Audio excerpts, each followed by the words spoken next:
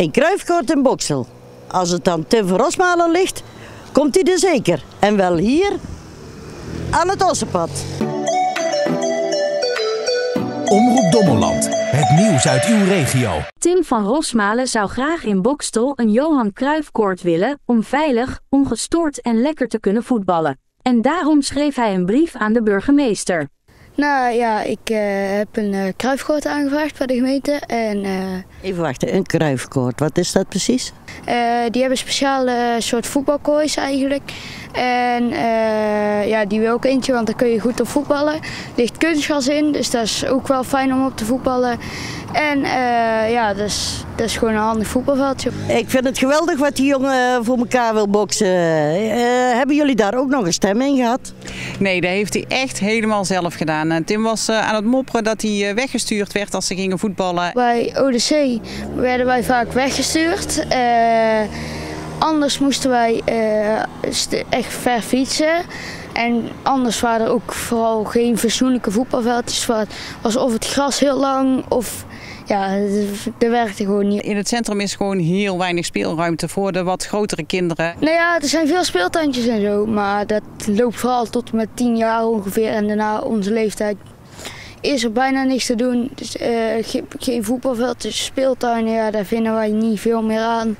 Dus ja, dan, dan, daardoor zie je ook vooral veel kinderen van mijn leeftijd ook veel hangen en zo in het dorp en zo. En als je iets te doen hebt, dan gebeurt dat gewoon niet. En uh, ja, ik stimuleer het buitenspelen heel erg. Dus hij was aan het mopperen. Ik zeg, nou kun je twee dingen doen.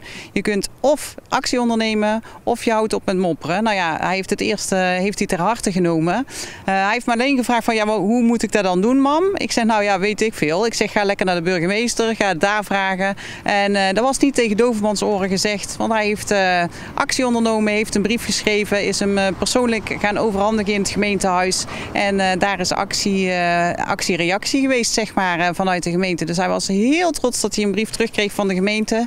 En uh, met name uit het, uit het uh, persoonlijke stukje van de burgemeester. En dat heeft hem gestimuleerd. Ik heb daar antwoord op gekregen met handige dingen die je kan doen. En dat het ook niet zomaar ging, dat ze daar ook nog gingen bespreken. En toen heb ik iets teruggestuurd. alleen daar heb ik nog geen reactie op gehad. En uh, ja, toen werden wij ineens gebeld dat het is besproken in de gemeenteraad. En, maar verder rest heb ik nog niks gehoord. De burgemeester had geschreven dat hij uh, het erg kon waarderen dat hij de brief had ontvangen. En dat hij uh, de, het, ja, het aangegrepen had om actie te ondernemen in plaats van stil te blijven zitten. Ehm, dat hij de mogelijkheid had om eens bij de raad te komen kijken, bij de gemeenteraad te komen kijken en luisteren. Dat, dat hij met de afdeling sport en spel contact op mocht nemen. Ehm, en dat hij ja, zeker stimuleert om kinderen om buiten te spelen en om op zo'n jonge leeftijd al eigen initiatief te nemen.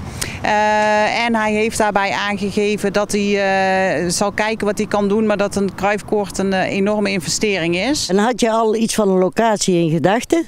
Nou ja, daar staan we hier nou, hier bij het weiland. Dat zou een optie zijn. Maar ja, dat weten we nog niet. Dat moet ik ook natuurlijk met de gemeente bespreken. Maar dit zou op zich wel een goed weilandje zijn. En uh, ook hè, het feit dat hij zegt van ja, al is het niet meer voor mij, hè, duurt het langer, dan is het wel voor de jeugd die, uh, die er nog aan zit te komen.